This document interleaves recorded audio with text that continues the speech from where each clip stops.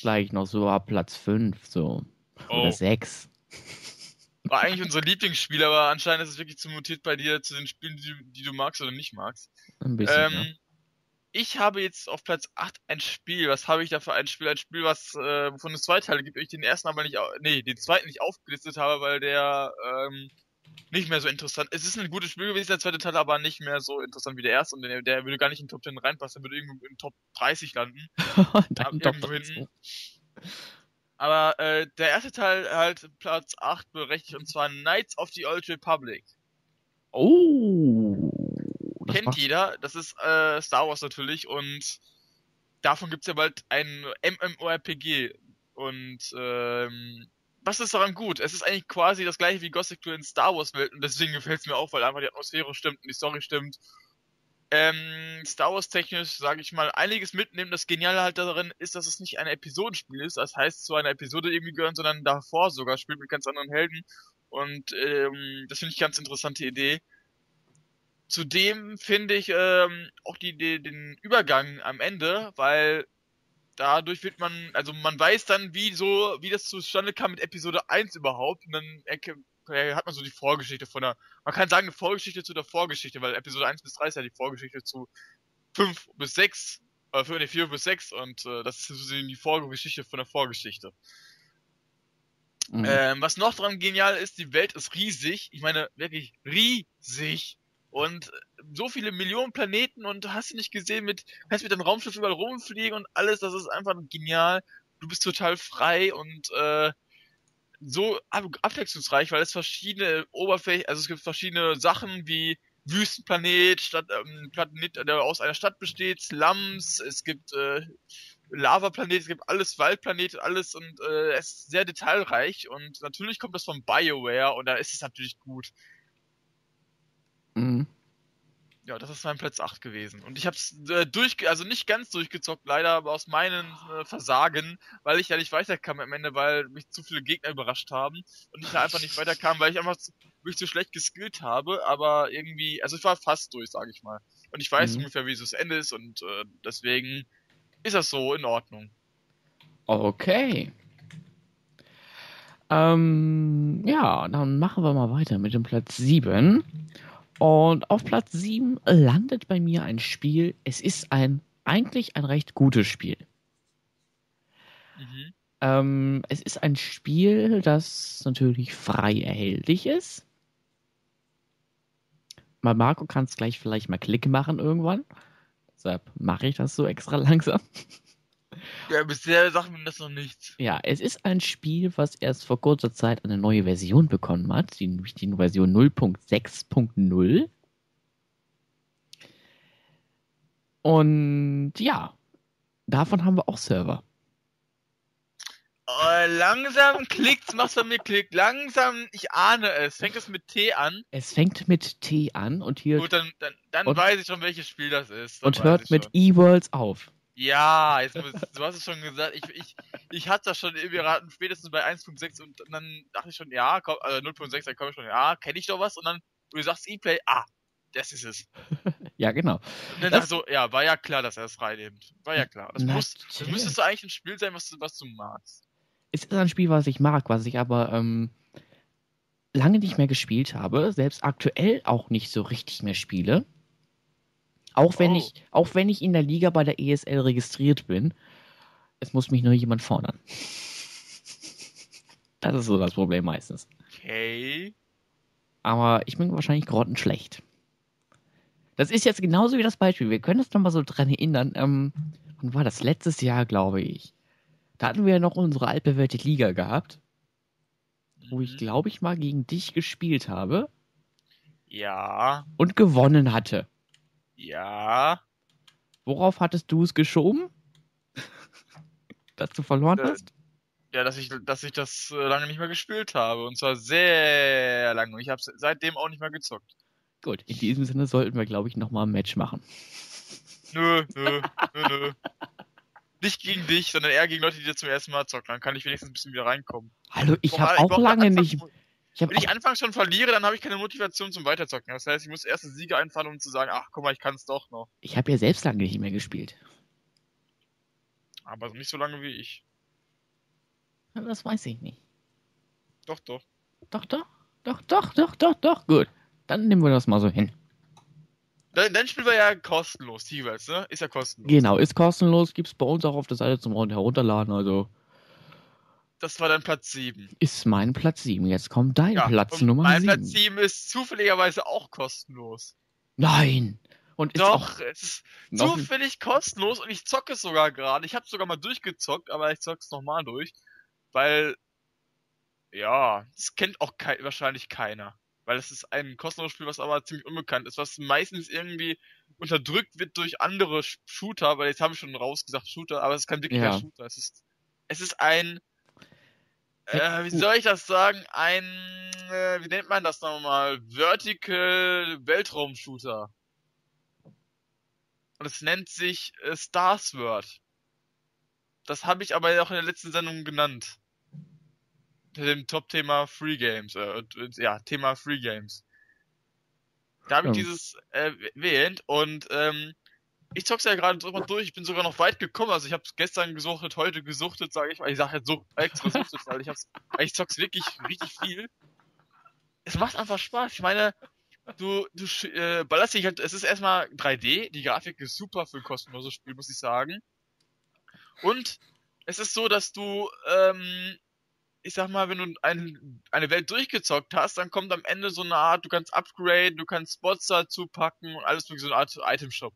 Ja? Mhm. Wo du auch, auch, neu- auch neue Raumschiffe äh, kaufen kannst. Dann gibt's auch äh, sozusagen Items, die du sammeln kannst und die später zu einer großen Kanone äh, zusammengebaut werden können. So eine Special-Kanone, die riesig groß ist und äh, unglaublich viel Kraft hat. Ähm, die äh, Effekte sind geil, die Gegner sind geil, die die äh, Explosionen sind geil. Also es ist wirklich ein Spiel, was sü süchtig macht und äh, es ist nicht es ist nicht schwer. Das ist wieder so eine Sache, die mir toll gefällt, weißt du, wenn es nicht so schwer ist und Motivation dahinter gibt, dann zocke ich es natürlich weiter. Und äh, ja, das ist das Tolle daran. Mhm. Und es ist kostenlos. Das ist, das muss mal gesagt werden. Das heißt, jeder kann es runterladen. Nennt sich Starsword, ist äh, äh, von von von welcher Marke ist das nochmal? Von welcher Firma? GameTop. Die hat viele kostenlose Spiele sogar gemacht. Und die sind alle genial. Mal reinschauen, googeln.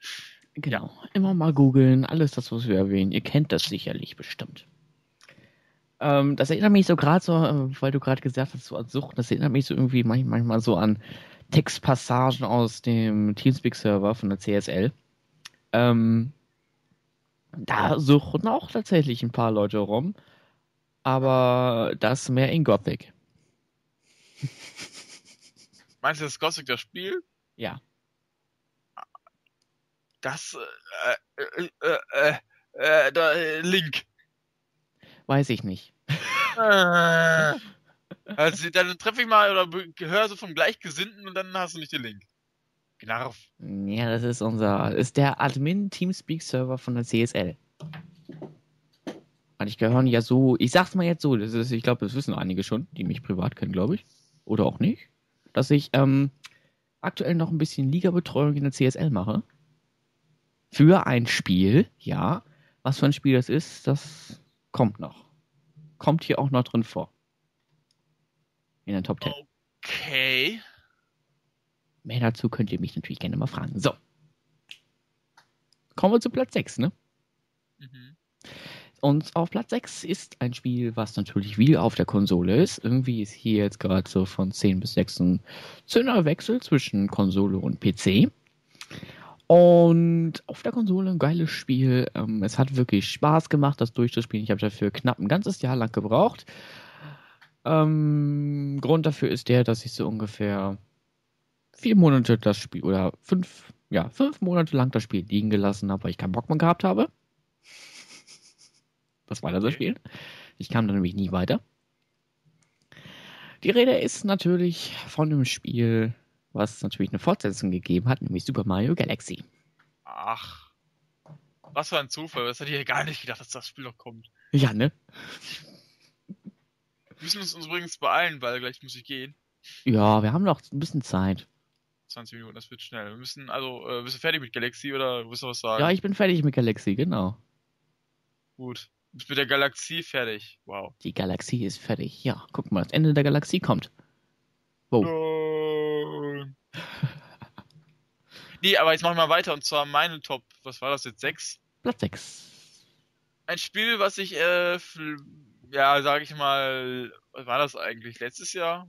Vorletztes Jahr? Ich glaube vorletztes Jahr gekauft habe. Ähm, gesehen zum ersten Mal auf der Gamescom und äh, durchaus interessant so gefallen, äh, gefunden.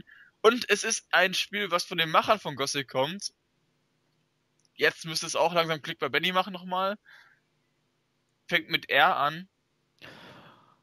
Mm. Um, äh, so Umf. Oha. Oh. Natürlich ist die Rede von Risen. Ah, Klar. ja, Risan. Das Spiel, was ich bis heute nicht durchgesagt habe, aber wo, aber wo ich auch das Ende, das Ende weiß ich schon, deswegen werde ich es auch nicht weiterzocken.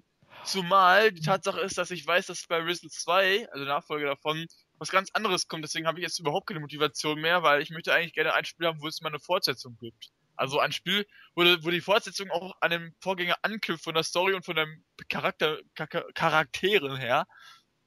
Und deswegen finde ich es eher schade, dass es irgendwie so jetzt weg ist. Aber äh, Risen selber ist toll, weil es ist genau wie Gothic, äh, deswegen mag ich es auch.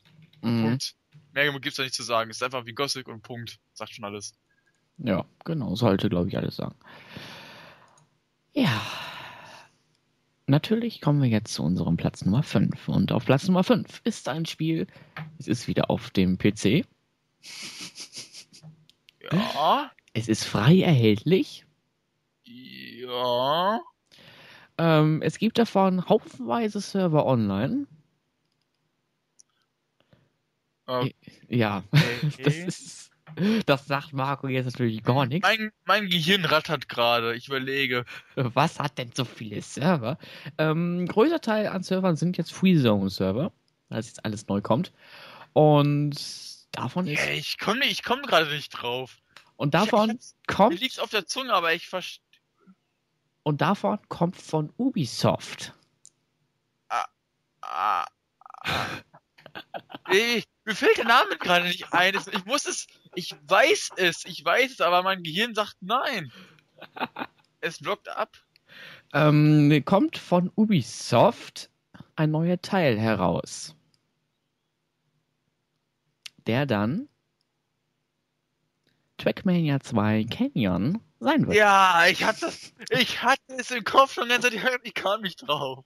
Deshalb ist auch bei mir auf Platz 5 Trackmania Nations Forever natürlich gelandet. Ja. Was für eine Umschreibung für ein Spiel, ne? Und es rattert bei Marco und rattert Ding. ja. Marco.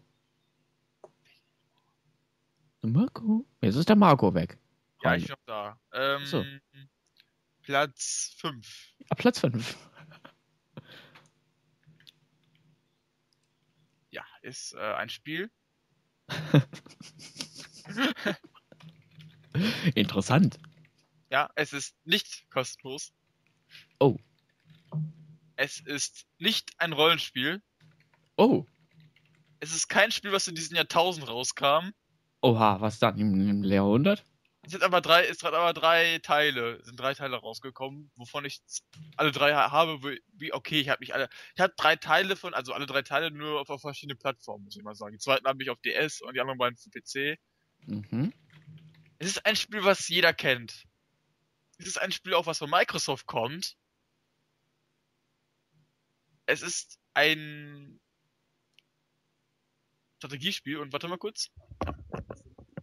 Es ist ein Strategiespiel, okay. Was kann denn das denn sein? Strategiespiel mit drei Teilen, wisst ihr es? Ihr könnt ja mitraten, was das sein kann. Ich bin jetzt gerade wieder da, weil ich hätte gerade Unterbrechung gehabt. Ich muss fünf Minuten, bis ich aus äh, fertig sein. Fünf Minuten noch eine Zeit. Ja, das kriegen wir glaube ich, noch hin. Gut, es ist Age of Empires, wollte ich sagen. Ah, stimmt. F- Finde ich geil, ist, äh, hat, hat mir ganz viel Spaß gemacht, zocke ich auch noch gerne und ja. Mhm. Und an die Stelle platziere weiter. Komm, schnell, schnell, schnell. Platz Nummer 4, das ist ein geiles Spiel. Es gab es früher auf dem, boah, wirklich alte Konsole, ist wirklich altes Spiel, 1900 noch was. Ähm, ist auf Steam